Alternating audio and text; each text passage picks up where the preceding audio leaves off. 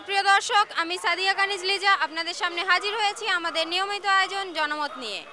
জাতীয় দৈনিক পত্রিকা এবং গণমাধ্যমের প্রধান প্রধান সংবাদ শিরোনাম নিয়ে তুলে ধরব সাধারণ মানুষের মতামত। আজকের জাতীয় দৈনিক এবং গণমাধ্যমের উল্লেখযোগ্য সংবাদের ভিত্তিতে তুলে ধরছি সাধারণ মানুষের মতামত। আজকের বিষয়, নতুন সরকারের মন্ত্রিসভার শপথ গ্রহণ রবিবার। তা এখনও আন্তর্জাতিক স্বীকৃতি পায় নাই। এ বিষয়ে কি ভাবছেন সাধারণ মানুষ?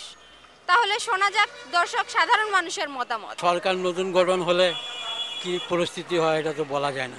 শতকরা চল্লিশ জন মানুষ ভোট কেন্দ্রে যায়নি। আবার সরকার গঠিত হয়েছে। এদেশের মানুষকে স্বীকৃতি দিয়েছে নিঃসন্দেহে দেয়নি। এটা আসলে যেহেতু নির্বাচনটা সঠিক হয়নি আমি মনে করি কারণ যেহেতু সব দল আসে নাই। আন্তর্জাতিক আপনার সম্প্রদায় কিন্তু এখনও এটারই দেয় নাই স্বীকৃতি। যেহেতু এটা আমি মনে করি একটা অবৈধ। নির্বাচন আমি আমি মনে করি এটা সুষ্ঠু হয় নাই।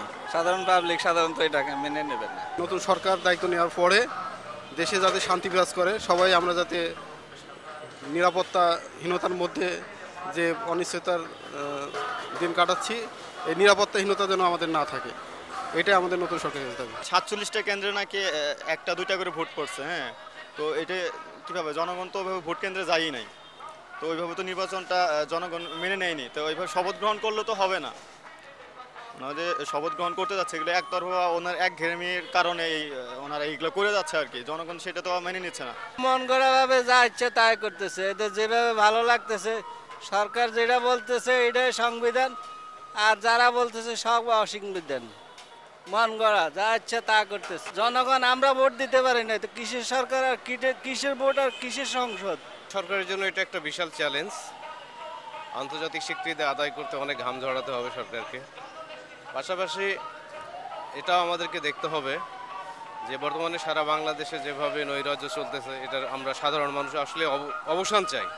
আসলে সরকার কে আসলো না আসলো এটা বড় কথা না সাধারণ মানুষের শান্তি। বর্তমান সরকার যেভাবে দেশের যে নৈরাজ্যকর যে অবস্থা যদি নিয়ন্ত্রণ করতে পারে ইসরায়েল সরকার পাঁচ বছরের জনগণের কল্যাণে কাজ করতে সক্ষম হবে।